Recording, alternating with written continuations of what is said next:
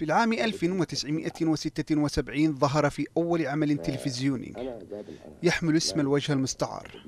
وكان ذلك مصادفا للافتتاح الرسمي للقناة التلفزيونية الوحيدة في شمال اليمن آنذاك.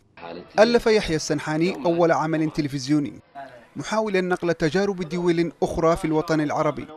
كانت قد خطت إلى الأمام في ذلك الحق كما كان ذلك أول ظهور للمؤلف الفنان. يا عبده آه عبده.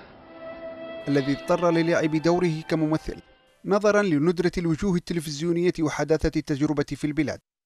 وخلال العقود التي تلت ذلك حضر السنحاني كمؤلف للعديد من المسلسلات التلفزيونية التي ناقشت قضايا اجتماعية مختلفة أهمها رماد الشوك وأحدثها شاهد عيان والذي توج به رحلته الفنية الطويلة.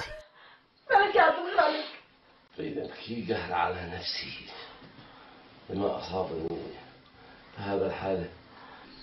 عمل إلى جوار آخرين تولوا تنفيذ أعمال درامية في تقديم فن واجه الكثير من الصعاب. ولا يزال يبحث عن هوية واضحة للسير. فقد اتسمت الأعمال الدرامية بالموسمية.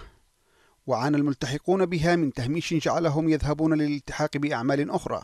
لكن السنحاني ظل متمسكا بالطريق الذي اختاره. حتى وافته المنية في العاصمة صنعاء. فجر الخامس من مارس 2017